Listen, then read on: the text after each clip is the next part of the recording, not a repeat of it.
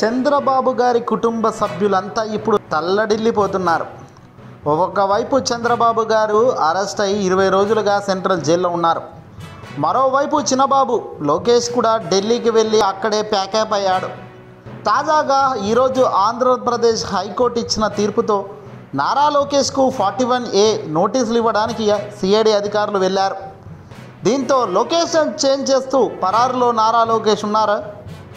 CrPC forty one A నోటీసులు తీసుకోకుండా జాగ్రత్త పడుతున్నారా? నారా లోకేష్ కోసం ఢిల్లీలో ఏపీ సిఐడి అది వెతుకులాట ప్రారంభమైనట్టుగా తెలుస్తోంది. లోకేష్ లొకేషన్ కోసం పలు చోట్ల సిఐడి అధికారులు వాకప్ చేస్తున్నారట. కావాలనే సిఐడి అధికారుల నుంచి తప్పించుకుంటున్నట్లుగా అనుమానం కలుగుతోంది. రింగ్ రోడ్ కేసుల్లో లోకేష్కి ఫార్టీ వన్ ఏ సిఆర్పిసి నోటీసులు ఇచ్చేందుకు సిఐడి అధికారులు ఢిల్లీకి వెళ్ళారు.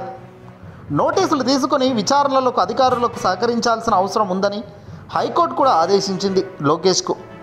అయినా సిఐడి అధికారులకు అందకుండా నారా లోకేష్ దాగుడు మూతల ఆట ఆడుతున్నాడు.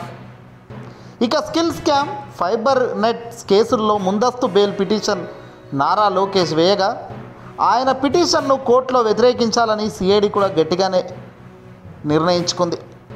మరోవైపు మీడియా కంటపడకుండా నారా లోకేష్ దగ్గర తిరుగుతున్నాడు. కార్లు మారుస్తూ రహస్యంగా మీటింగ్లు నిర్వహిస్తున్నట్లుగా సమాచారం అందుతోంది.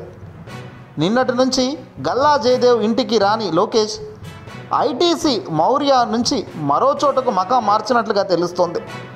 జయదేవ్ కంపెనీ గెస్ట్ హౌస్లో ఉన్నారని సమాచారం ఇన్నర్ రింగ్ రోడ్ కేసుల్లో హైకోర్టు ఎదురు దెబ్బ తగలడంతో న్యాయవాదులతో లోకేష్ మంతనాలు జరుపుతున్నారని లోకేష్ లొకేషన్ సీక్రెట్గా ఉందని కార్లు మారుస్తూ తిరగాల్సిన అవసరం ఏముంది అంటూ చాలా వరకు ఇప్పుడు ఆరా తీస్తున్నారు. ఢిల్లీకి వెళ్ళిన సిఐడి అధికారులు మరికొద్ది సేపట్లో లోకేష్ను ఖచ్చితంగా ఫార్టీ వన్ ఏ సిఆర్పిసి నోటీసులు ఇచ్చా ఇవ్వాల్సిందే. మరి లోకేష్ దొరుకుతాడా? పరారులో ఎటైనా చక్కర్లు కొడుతున్నాడా అన్నది కూడా ఇప్పుడు అనుమానమే. నువ్వు తప్పు చేయలేదు కదా బాస్. మీ నాన్న నిర్దోషి కదా. అన్యాయంగానే అధికార పార్టీ కావాలని కుట్రపూరితంగా మీపై ఇంత దారుణంగా చర్యలు తీసుకుంటుందని అంటున్నారు కదా.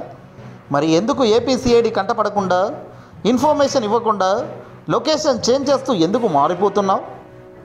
చంద్రబాబు నాయుడు బెయిల్ రాక ఇరవై రోజుల నుంచి సెంట్రల్ జైల్లో ఉన్న చంద్రబాబు నాయుడును కనీసం చూసే ప్రయత్నం కూడా చంద్రబాబు కుమారుడు లోకేష్ చేయకుండా ఢిల్లీకే పరిమితమయ్యాడు.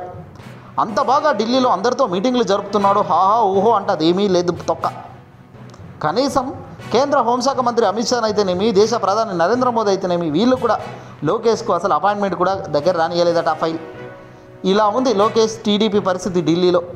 తప్పించుకునేటోడికి నూరు కారణాలు అన్నట్టుగా తయారైంది చంద్రబాబు పుత్రరత్నం లోకేష్ పరిస్థితి. మరి పొత్తుల్లో భాగంగా గట్టిగా మాట్లాడిన పవన్ ఇప్పటిదాకా ఎందుకు సైలెంట్గా ఉన్నాడు? అయ్యా పవన్ ఎక్కడున్నావు అంటూ మరో వర్గం గట్టిగానే ఆయన్ను కూడా పిలుస్తున్నారు. లోకేష్ను అరెస్ట్ చేశాక బహుశా అక్కడికి కూడా పరామర్శకు వెళ్ళి ఇంకో పొత్తు ఏదైనా ప్రకటిస్తాడేమో అంటూ పవన్పై సెటైర్లు కూడా పేలుతున్నాయి. ఏదేమైనా అన్నీ ఒక చోట పెట్టి గుండు గుత్తగా దొరికిన చంద్రబాబు తెలుగుదేశం పార్టీని కాపాడడం చాలా కష్టమే ఎవరికైనా.